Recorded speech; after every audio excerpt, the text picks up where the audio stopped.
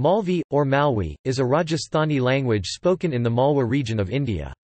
It is closely related to Nimadi, which is spoken in the Nimar region of Madhya Pradesh. The dialects of Malvi are Ujjaini Ujjain, Indore, Dewas, Shajapur, Sehore districts, Rajawadi Ratlam, Mandsaur, Neemuch districts, Umathwadi Rajgarh district, and Sondhwadi Jhalawar district. Ujjaini is the prestige dialect, and the language as a whole sometimes goes by that name. About 75% of the Malvi population can converse in Hindi, which is the official language of the Madhya Pradesh state, and literacy rate in a second language such as Hindi is about 40%. There are many unpublished materials in this language.